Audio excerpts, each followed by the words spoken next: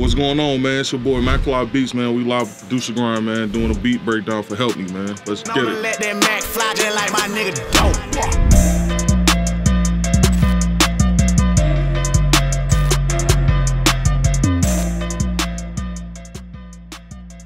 I knew Boss for about roughly four years, four and a half years, almost five. Uh, we met Miami, uh, just cooking up. Hella songs, too many songs, bro. Me and Boston got probably like 500 records for real on, on a serious note.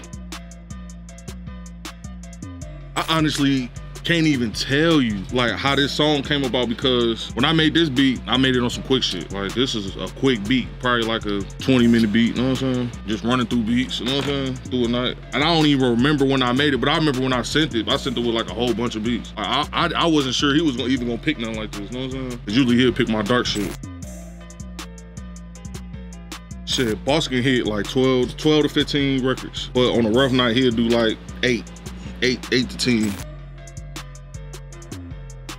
Uh, I love I love the song, but I, I, I didn't think it would it would get this big. You know what I'm saying? And I don't know how big it's gonna get. But now it's on Hot 100. You know what I'm saying? It's lit now. It's global right now. TikTok trending. It's number one urban right now. It's lit.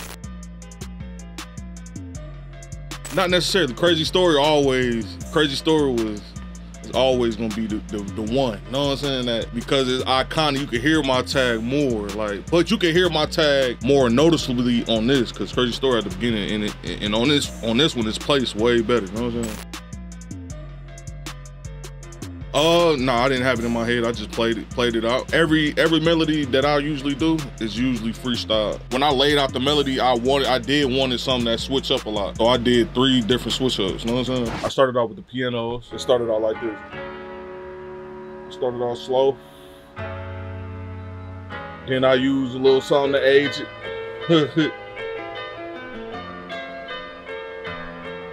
age the beat. Took some low end out. They made another part to get a beat of bounce when I add 808s. What's I wasn't like favorite pianos to use? Alicia Keys. Alicia Keys. But I ain't use Alicia Keys on this. I use Omnisphere. Then after that, I added the, the vocal. You know how that went. Okay. Yeah, I did two separate ones, back and forth. And after that, I came in with a low cymbal know what I'm? Came in with a low. You with a low little cymbal. Put gross beat on it. Started out like this, really. you can see what's going on. Little velocity changes. After that, aged that one too. Blended it together with the intro. That's why people probably think it's a sample because of that. Just because of the simple. How important you think it is for like that vocal to be in that beat? Like if you take the vocal out, you feel like the beat will hit the same? Hell yeah, by far you want to hear it. Still hit. But the vocal is just, you know, I usually don't even use vocals, but it gave it some sauce. So I can't even sit here and bat like, nah, it gave it some sauce for sure. Then after that, started out with the 808 it not I ain't started with the 808, but I started off with the hi hat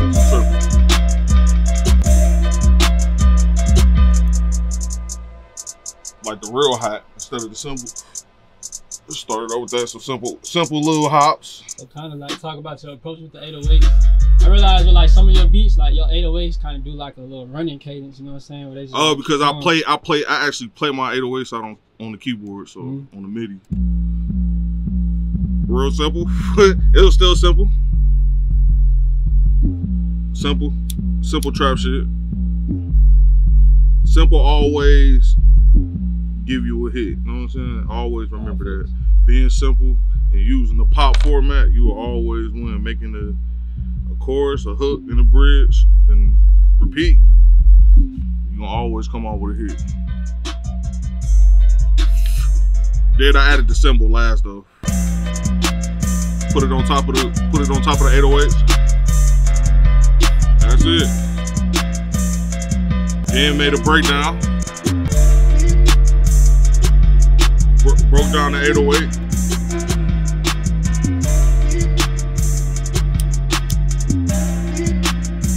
number one city gotta have some za, man.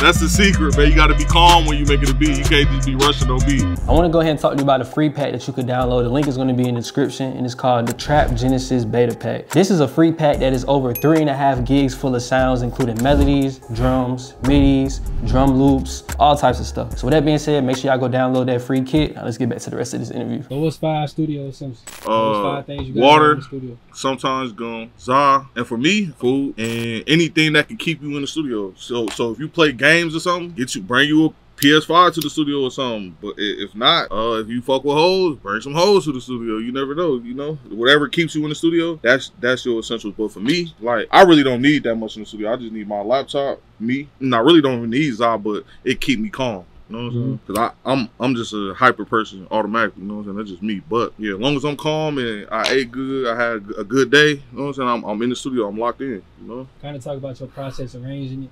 How important? Oh yeah, arranging it was simple. Mm-hmm. Like I said, intro, chorus, hook, verse, bridge. Repeat it. You can actually look at it and see. It'll show you. You know what I'm saying? It's the same thing over and over. Mm-hmm. If you look at it that will help you though. It, will keep the consumer focused on the song. You know. Where you get your sounds from? Bro, I've been using the same drums for like five to ten years. Producer grind too. Definitely, I get a lot of sounds off of producer grind. They got a lot of free sounds, especially I got my spins 808 off of there. DB too, definitely. That's my brother, man. DB definitely plugged me. Jacob.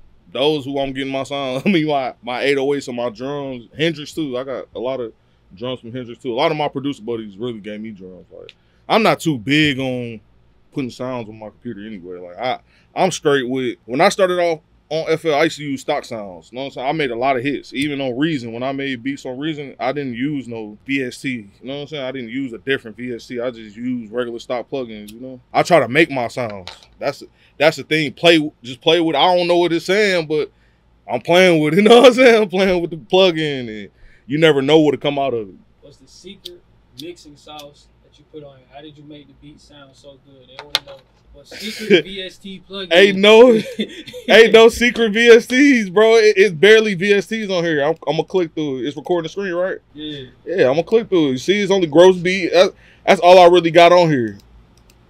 And uh, and level leveling things out. That's it. But I did use this picture though. Hold on, I'll show you. Oh, it's just picture. It's just picture. That's all it is. That's all. That's it. You know what I'm saying? In the phaser, uh, hold on. Go put it real low. Put it like right there. Turn the dryness up. that's it. Or you can keep playing with this too. Play with that. Another thing I always say, everybody know this though, bro. Just take the low end out. Take the low end out of your your melodies. Try to cut them all the way out, or not all the way out, but cut them down some. It ain't none of my 808, but usually I would do this. I made this beat without thinking about it. I really didn't mix his. I didn't mix his record for. You know what I'm saying? Didn't mix it. I just leveled everything out for real. How many layers of that piano is it? Just one. Just one layer. Yeah, it ain't none on there. It's only it's only that the vocal and the drums. That's it.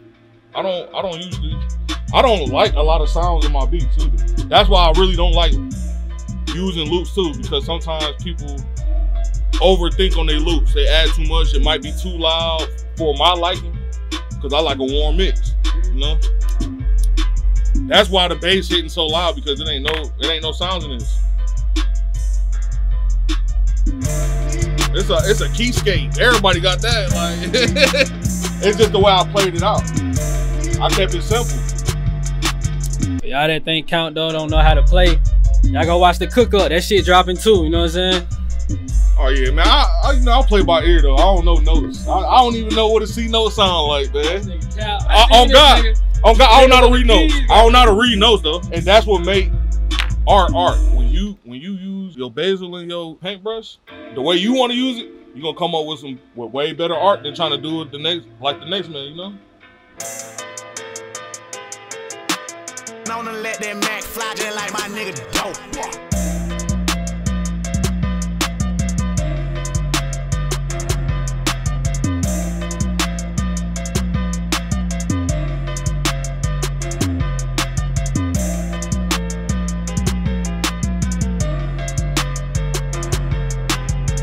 Tell you about this crazy beat battle we are doing. We're flying out one producer to Atlanta to work with Sonny Digital, BB, Twisted Genius, and a whole bunch of other producers. We're giving away a $1,000 cash, a $500 PG gift card, and we're giving away an expensive pair of studio headphones. Download our Trap Genesis beta pack. Like a fire beat with it. It gotta be 100% fire, bro. The producer with the hardest beat is gonna be the one that wins all these prizes. That's include a free collab with all these industry producers and getting flown out to Atlanta for 100% free.